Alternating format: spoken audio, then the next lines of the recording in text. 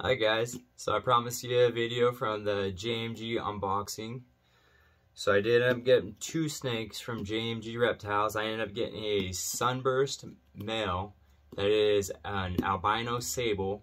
And then I ended up getting a female that is 100% het for sable and then 66 possible het for albino.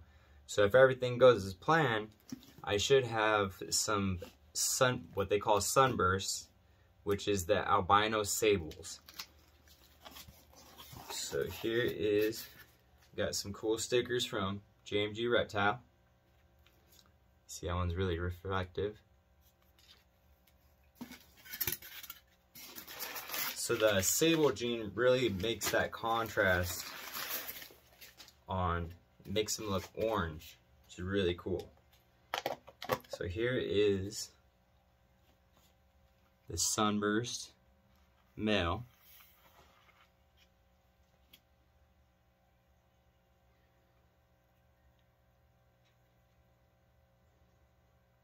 It's very lively.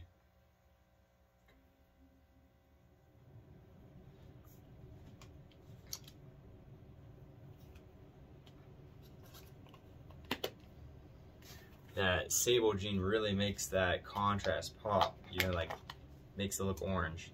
And here is the female. She looks normal, but and again, she does carry those genes. She's a little bit more calmer than he is. So I wanted, I do have my albino superconda just to kind of show you like how much that sable brings out the contrast in the snake. So I could do a side-by-side -side comparison for you here.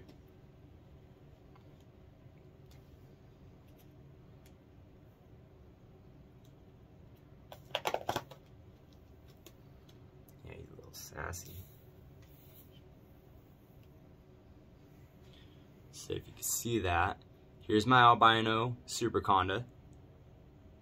And then here is that male albino sable.